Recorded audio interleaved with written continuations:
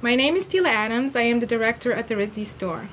Here at the RISD store, we are dedicated to creating opportunities for our students to be creative outside the classroom. One of the ways that we do that is by working with students to design limited edition t-shirts sold in the store and in our store website.